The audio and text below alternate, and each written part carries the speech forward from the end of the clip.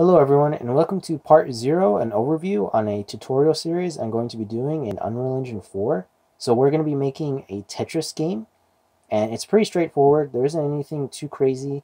Um, there are a couple spots that will get a little a little bit hard to understand, but uh, you could be pretty much a beginner to intermediate to be able to follow along. And uh, if you're having any problems, like it's not working or something, be sure to check back and make sure you didn't just make a simple mistake or not, or you didn't wire something or you wired it wrong. Um, so this is the final project or the final result we're going to have. It's going to open up in a little window uh, by default. On I'm going to show you how to do that on a shipping build.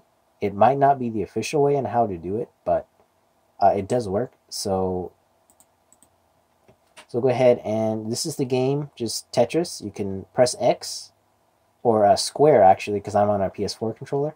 But uh, you can press square or X if you're on Xbox to instantly drop the block. You can press triangle or Y to hold a piece. And you can clear a row. I'm not going to be able to clear the row because uh, I kind of set it up bad. But you can clear the row. Uh, you can get up. You can If you have four uh, full lines, then it'll play a little Tetris animation um, and then it'll also have a game over. So there you go. There's the game over. Uh, I'm going to show you how to, like, um, how the physics on the pieces, um, how they fall. I'm going to show you that. Um, that is a little bit more on the performance side, but only by, like, a real, real small margin, so you shouldn't have to worry too much. And so the other thing I'd like to show you uh, before we get too much into it is that you can rotate the pieces and they won't go out of bounds. They'll push themselves back in bounds. So um, you can rotate it. So like this. And then if you try to move to the left or to the right, you know, it, it stops it. It also will collide with other blocks. And when I say collision, it's not actually using collision. It's actually using an array of booleans. And we're just going to figure out the, if the block next to it, if there's a block next to it. And if there isn't, let it move. And if there's not, uh, or if there is something in the way, don't let it move. And like I said, it'll push itself out of the way.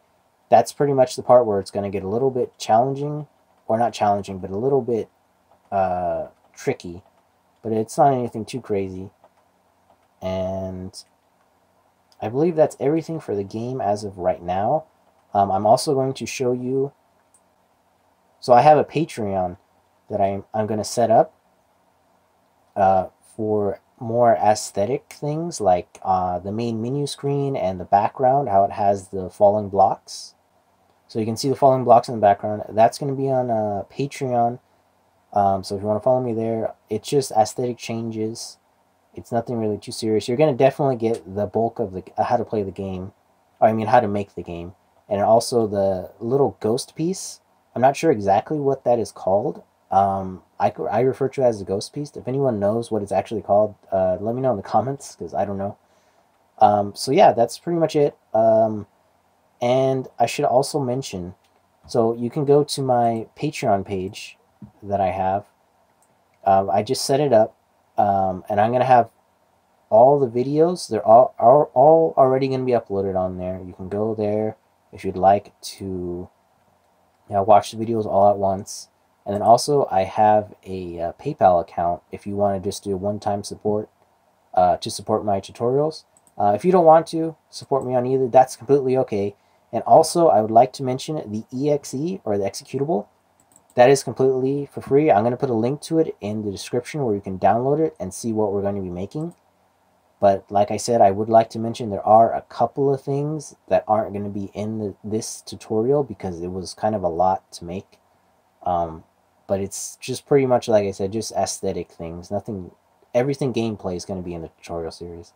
So, and also I'm going to try and keep each video. There should only be about 10 parts, if I'm not mistaken.